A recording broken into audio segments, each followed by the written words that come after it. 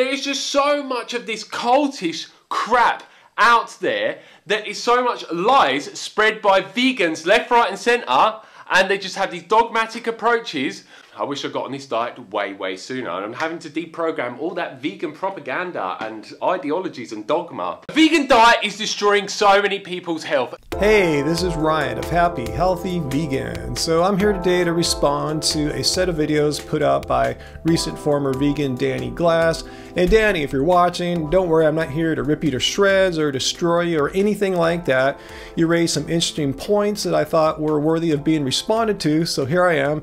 So with that out of the way, let's jump right into it. So I recently announced in a video after around six years, I am no longer vegan. So he said he's been vegan for six years and just recently started eating animal products again.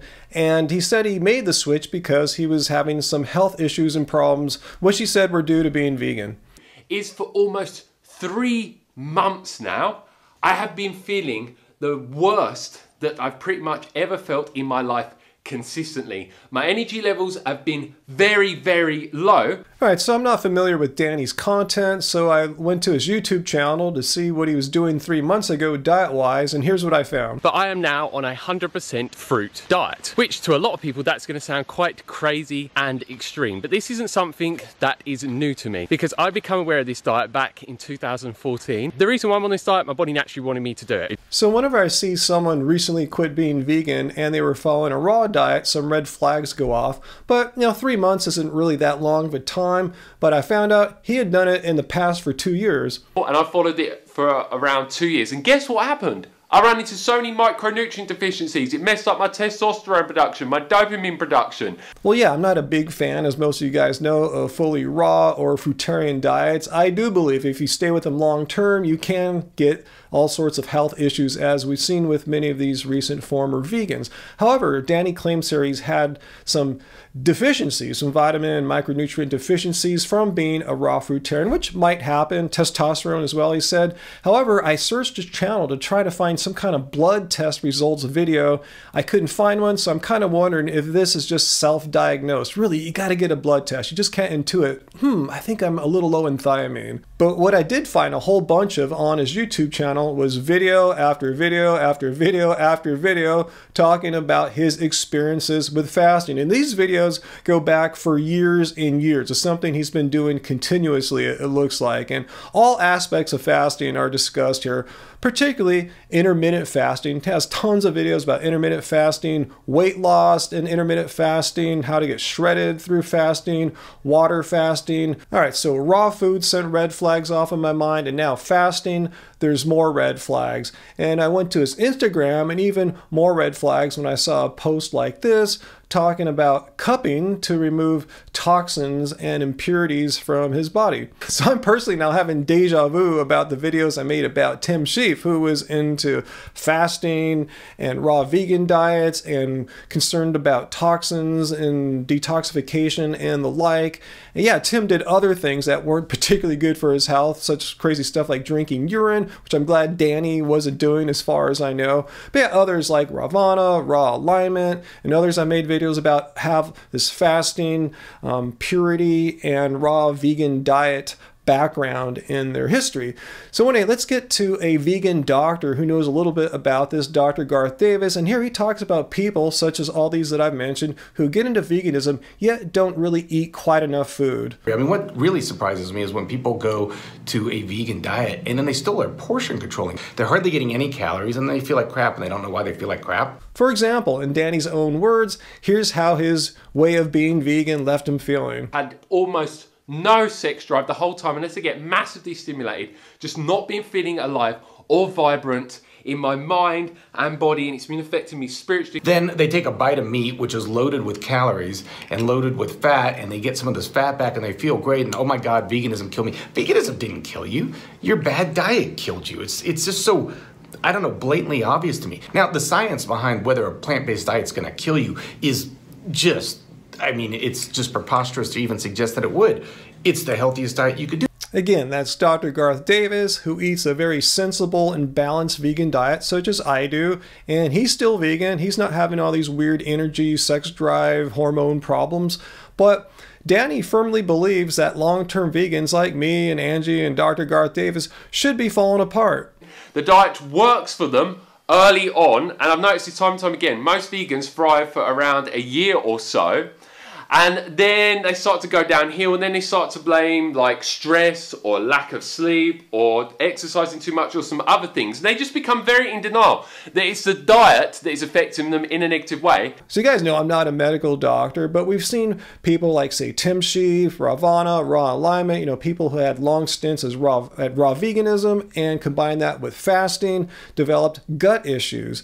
We're talking about like sibo and ibs so there's a pretty good chance that danny might have something something like that. And Danny, if you're watching, have you seen a doctor yet? If not, I urge you to go visit a gastroenterologist as soon as you can and see what's been going on with your gut. I know no better gastroenterologist than Dr. Angie. Yeah, she's here in California. It might be a little hard for you to come out and visit her. And we were fortunate enough to see her speak at SoCal Veg Fest a few weeks ago about this very talk, topic about vegan YouTubers and Instagrammers who ate in these kind of extreme ways, developed health issues, and quit being vegan and blamed veganism on it incorrectly. You guys, be careful who you follow on Instagram. There are a lot of Instagram models who go on three month fasts, like unhealthy fasts. We know that malnutrition is one of the leading causes of SIBO and IBS and gut problems like dysmotility. They do frequent fasting, like 30 day water fast, and they're already malnutrition, BMI of 17 and if you're hearing these Instagrammers who are models, they come out and say veganism caused this, be careful because just because they have a problem doesn't mean veganism caused it. There are a thousand other things. And, and as you could probably tell there, Dr. Angie is a vegan and she also eats a balanced, sensible, non-extreme vegan diet and her health isn't going downhill as well. Most vegans thrive for around a year or so and then they start to go downhill. I'm totally wondering where Danny got that statistic from because it sounds like he's either making it up or my guess is he's probably projecting from his own personal experience. I mean, in my case, I've been vegan far longer than he has. I've been vegan nine years and I'm 52 years old and far from falling apart.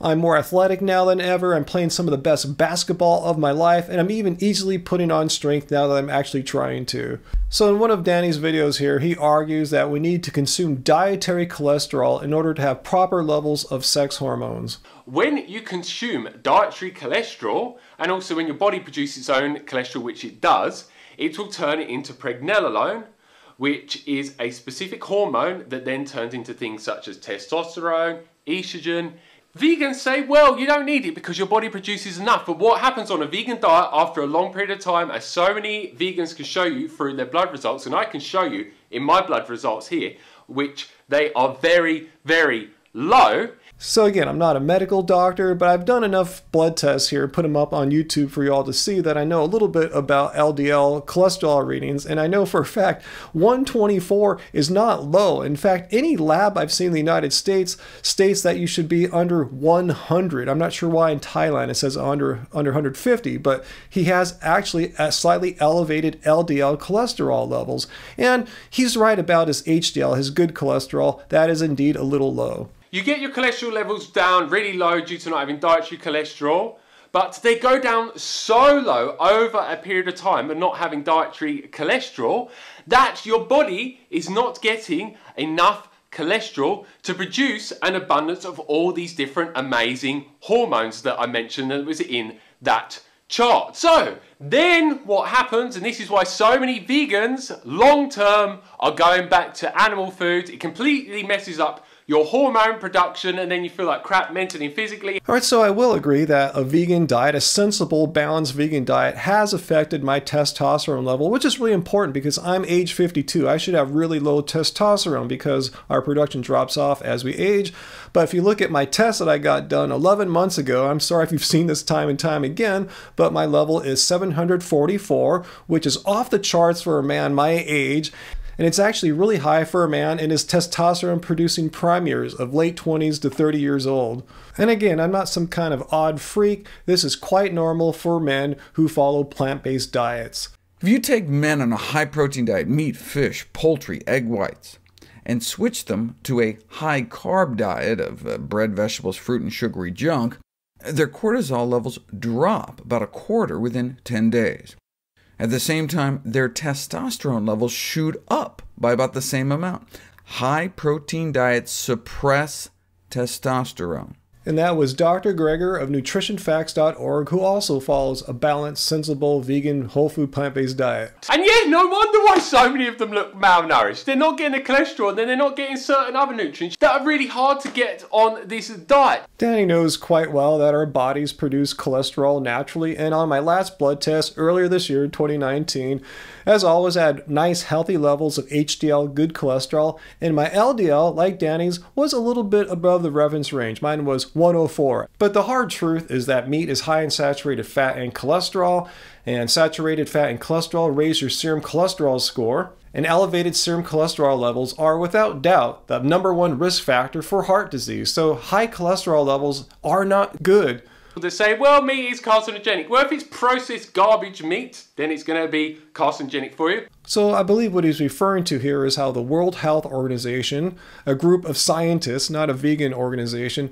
classified red meat as a group 2A. That's a probable carcinogen. But if you're getting it from the cleanest sources such as pasture raised, grass fed, organic, free range, antibiotic free, and so on, then it will give you amazing health promoting benefits like it has for me. No, that's not true at all. There's no science whatsoever that shows if you get your meat from the cleanest sources, organic as possible, grass fed, and all that, that the carcinogenic properties of meat somehow suddenly cease to be. Might want to wish for that to happen, but until there's some solid science showing that, you can't really make that claim. I also want to point out that the American Dietetics Association, after reviewing the scientific literature, concluded that appropriately planned, I want to highlight that, appropriately planned vegan diets are safe, healthful, and adequate for people in all phases of life. So this assertion of Danny's that vegan diets are inherently unhealthful is not scientifically justified. So I want to be painfully clear here. I'm not denying in any way that Danny's being untruthful about these health issues that he experienced while vegan. I completely believe him from what I've seen from Tim and Rawvana and the others. Yes, extended stints as raw vegans combined with fasting, a pursuit, of purity, I've seen leads people to develop issues in their gut, which leads them to stop being vegan eventually, which is why I tell people if you're a raw vegan, you might rethink that because the odds are you might not actually be any sort of vegan in a couple years down the road. So that's why I recommend that people eat a balanced, sensible, whole food, plant based diet. It might be too late in these people's cases because they've already developed gut issues, which is why I recommend seeing a gastroenterologist. And from the little bit I know about SIBO, it can be typically cured fairly easily with a few rounds of antibiotics. And I think that's worth a go if you really believe in the vegan ideals of not harming animals, not killing animals in order for you to live, not destroying the environment needlessly for meat, I would suggest looking into visiting a medical doctor and getting yourself checked out, take some antibiotics if that's what they prescribe, and get back to a vegan diet, a sensible, healthy vegan diet, maybe for the first time ever in your guys' life. So, again, this is no hate to anyone. I have compassion for what you're going through, and hopefully, you might try it out again in this way. So, anyway, guys, leave your questions and comments down below. Hit like, share this video, and until next time, guys, remember, let's vote vegan. Yes, I'm running for City Council in Long Beach, District 2. If you live in Long Beach, you can vote for me next year in March. And if you live anywhere in the United States, you can contribute to my campaign. Please, everyone, go check out my website, ryanlum.net.